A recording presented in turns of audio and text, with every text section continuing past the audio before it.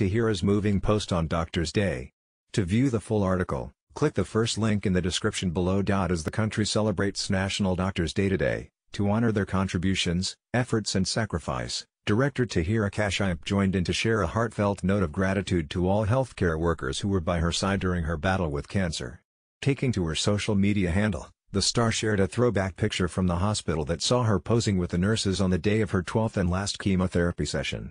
She paid tribute to all the doctors and nurses who helped her in a heartfelt note that read, I never knew hashtag Doctors Day even existed earlier, but my recent health ordeal has made me value all of them so much.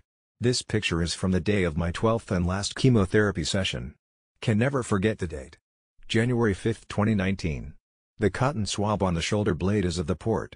And the nurse in green is holding a box of chocolates that I had shared with them all, expressing my sincere gratitude.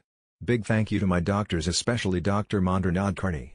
Had this COVID situation not been there I would have paid a visit to the doctors and nurses with another box of chocolates who really take care of all of us. She went on to add, no matter how many apples I have, I am never keeping the doctors away.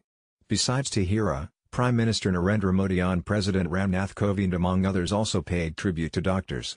The PM tweeted, India salutes our doctors, exceptional caregivers who are at the forefront of a spirited fight against COVID-19 President Kovind also greeted medical professionals and expressed gratitude for their selfless service in a tweet that read, Best wishes to all doctors on hashtag Doctors Day.